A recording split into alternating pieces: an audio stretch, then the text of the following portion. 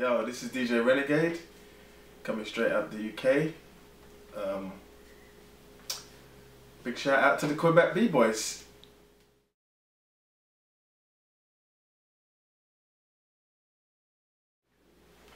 I guess my story starts in about 1982 uh, when hip hop came to the UK via uh, Americans coming over and bringing the, the art of graffiti, popping, breaking and all this stuff.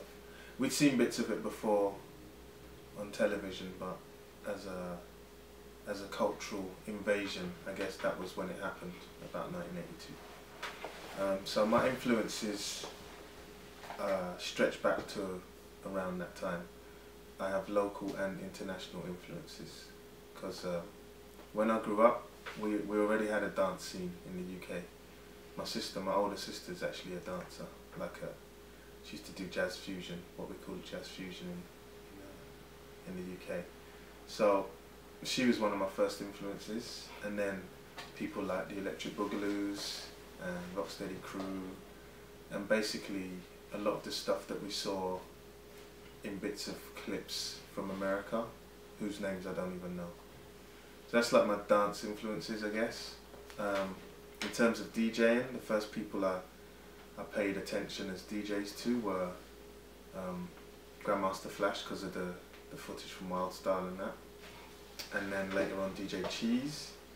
And then again I have local influences like Dazzle Fresh and Master Mix and my old DJ partner Madder and people around it. And then like Cash Money, Jazzy Jeff, you know. So like a, a broad spectrum of influences and stuff. Um, outside of DJing or dancing, uh, I'm a computer engineer.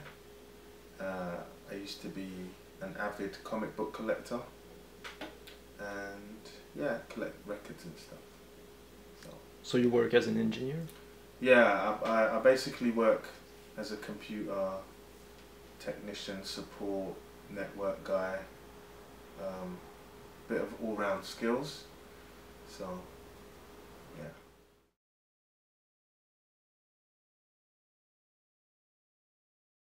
I know there's a lot of talk about the distinctions of b-boys, breakdancers, blah blah blah blah blah.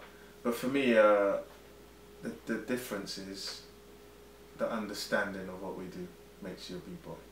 Like I can see someone dance and I'll be like, okay, they don't quite get it. So I'd probably uh, describe them as a breakdancer or whatever. Or you see someone who gets the, the art form, understands the culture of what we do. And that's probably someone I'd describe closer to being a b-boy.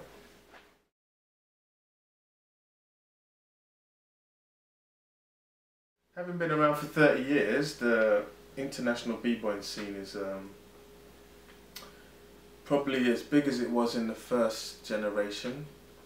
Because the first time round it was like a massive fad that took over the whole world. Similar to BMXing and skateboarding and stuff and then obviously we know the history it died off and a few people kept it going blah blah blah blah blah but right now we've probably got the the, the closest thing to that first wave of a massive scene that stretches across the world uh, that's way more connected than it was 30 years ago and seems to have a better idea of what it wants to be and where it wants to go. So that's my impression of the international b-boy scene.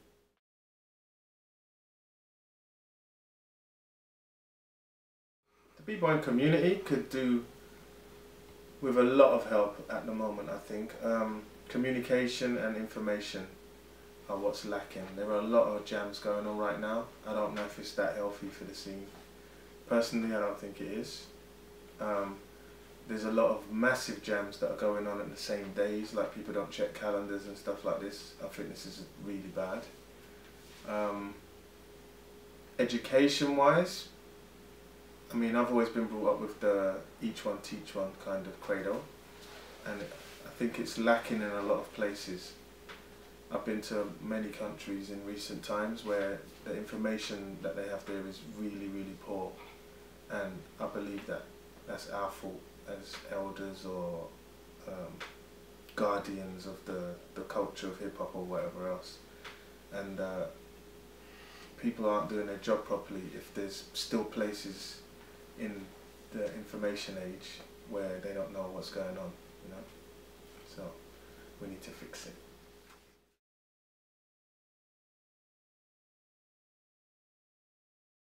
Uh, DJ and everybody's a DJ now, you know, everybody's a producer or whatever else.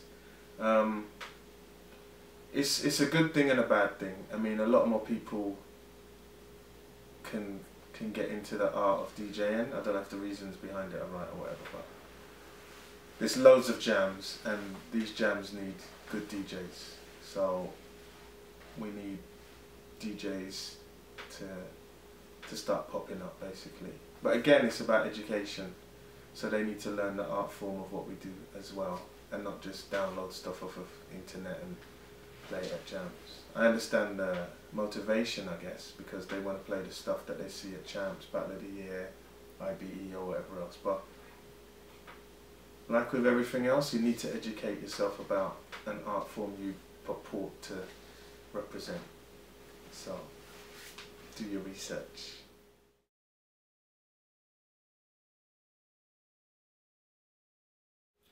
Um, when I retire, let me think. I'm never going to retire and I'm never going to die. So you're stuck with me forever. I was on the subway once and a, a woman saw my hand and she says, wow, you're immortal. And I believe her, so seriously. But seriously, um, just to have made a contribution, you know, just to have, have given something back to the culture, to have changed something in some way and to be remembered, I guess that's what we all want, you know, to have done something, to have uh, leave a legacy. I'm trying to do that with my dancers, I'm trying to do that with my DJing. In, in anything I do, I try to, to make a difference, or else what's the point of doing it, you know? Like, would you like to see like Soul Mavericks getting really big or something like that? Is that like your, your legacy would like to, to leave? Not even necessarily big, I mean, just the fact that there is a Soul Mavericks is is a legacy enough. You know, we've been around seven years. I've seen crews come and go in that time. You know, um, the guys are getting better and better. They're international now. They got a really good level. Um, the same with the the poppers I teach. It's like leave a legacy, and if you're really lucky, then that legacy will leave even more, right? Because I'm hoping that the guys from Soul Mavericks teach one day and make uh, a healthier scene than what we had. And the same with the popping guys, because if every generation doesn't teach the next generation, then we're we're screwed really. You know, the information's just going to keep looping like back to zero every time. So I teach my guys how to teach, and hopefully we'll have a nice, healthy scene at the end of it.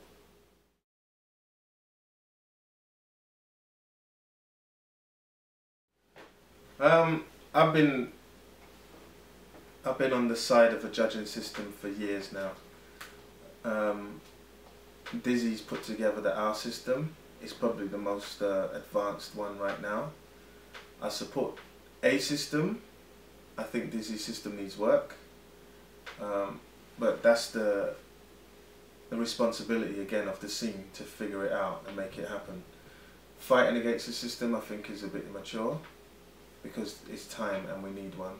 Everything else is on a, a massive level right now, sponsorship and events and and venues and the size of the scene growing and everything. And yet, when it comes to judging, we're still at amateur time. You know, three, two, one, boom. Yeah, why? Uh, I don't know. Come to my workshop or. Uh, it's my opinion or whatever else it is, you know. I think this is a little bit immature compared to everything else and people outside the scene don't know what's going on, but you've got 10,000 people in a crowd that are not all dancers or b-boys or whatever. It's like, it makes no sense to me that you don't have a system that's transparent and people can see exactly what's going on.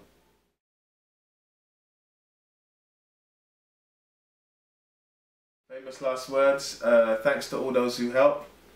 The finger to those who don't. Um, be about it, really. That's all I can say. Don't talk about it. Be about it.